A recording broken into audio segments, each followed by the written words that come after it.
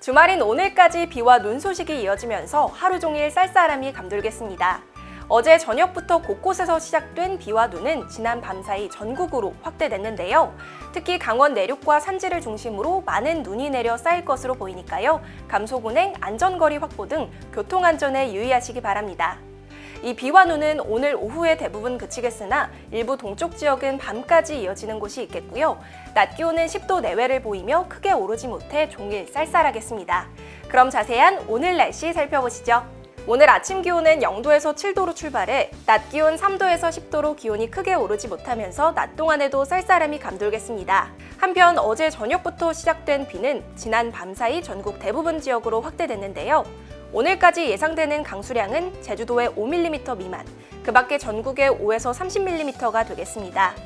특히 기온이 낮은 강원 산지와 경북 북동 산지에는 3에서 8cm 내외 눈이 내려 쌓일 것으로 보이고요. 그 밖의 지역은 1에서 3cm 안팎이 되겠습니다. 이 비는 오후에 대부분 그치겠으나 강원 영동과 충청권 내륙, 전북과 경상권은 밤까지 이어지는 곳이 있겠습니다. 한편 오늘까지 동해안과 남해안, 제주도를 중심으로 바람이 초속 10m 내외로 강하게 불겠으니까요.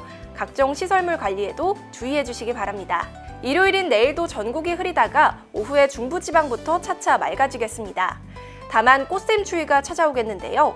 절기 춘분인 월요일에도 아침 기온이 영하권까지 떨어지며 추운 날씨가 이어지겠으니까요. 기온 변화에 대비한 옷차림에 신경 써주시기 바랍니다. 한동안 봄 기온이 가득한 날이 이어지다가 곳곳에 비와 눈이 내리며 다시 기온이 떨어졌습니다. 건강 관리에 유의하시기 바랍니다.